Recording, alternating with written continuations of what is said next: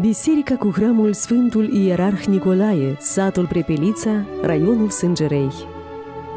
Biserica este refugiul și casa sufletului nostru, căci doar în biserică putem cunoaște adevărul și ne putem comunica cu Dumnezeu prin sfintele taine.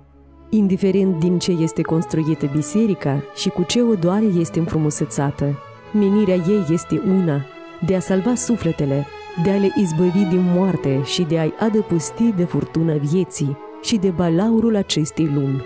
Spre fericirea creștinilor din satul Prepelița este și faptul că din cele mai vechi timpuri se pot închina sfinților din icoanele de pe pereții bisericii, se pot ruga Domnului pentru a-i mulțumi și a-i cere ajutor. Ei pot alerga după povața și binecuvântarea preotului în orice clipă și pe orice vreme căci necătând la situația politică și istorică prin care a trecut țara noastră, Sfântul locaș din sat a stat de veghe în continuu, iar pe altarul iubirii, jertfa nu a încetat a se aduce niciodată. Dangătul de clopot cu fiecare liturghie săvârșită reînvie în sufletele creștinilor veste învierii lui Hristos, adică biruirea morții și începătura unei vieți veșnice. Mirosul de tămâie și busuioc ne reamintesc de strămoșii care au luptat demn pentru apărarea patriei și a credinței și datorită cărora ne putem numi astăzi un popor creștin ortodox și putem în liniște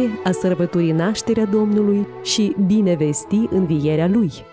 Cuvintele Sfintei Evangheliei pe care le citește și le tâlcuiește preotul Samon Gliga sunt adevărate comori și învățături de conduită creștină, iar cântările Sfintei Liturghii, pe care cu dragoste le cântă strana, sunt adevărate mărgăritare și raze de lumină pentru sufletul creștinului,